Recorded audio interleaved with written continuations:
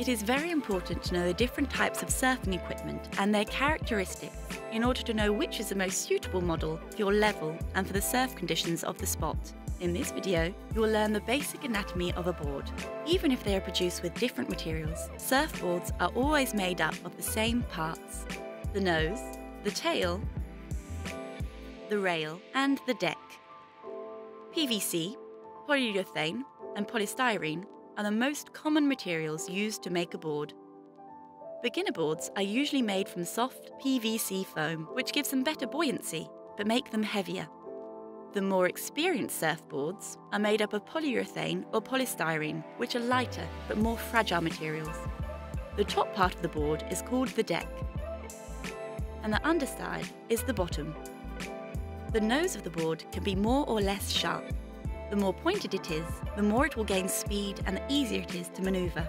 The rounder it is, the more stable and buoyant the board is. In the same way, there are different forms of tail, the back of the surfboard.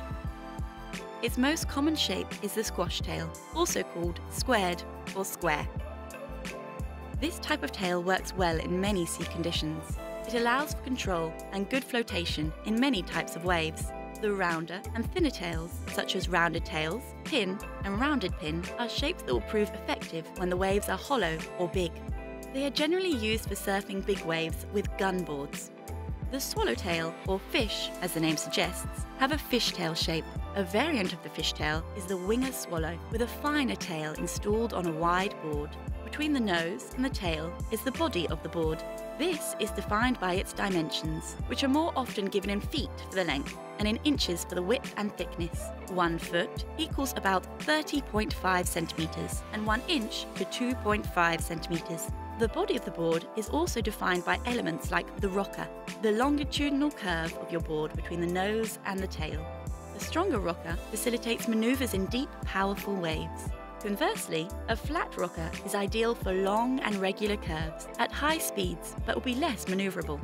Finally, the rails, the side of the surfboard, also have a lot of influence on the performance in the waves. Depending on the model, the design, or outline may be more or less accentuated, and this will have an impact on the performance of your board. Rounder and thicker rails provide more buoyancy, control, and good speed retention. The thinner, pinched rails are very responsive but require more precision and are therefore reserved for more experienced surfers.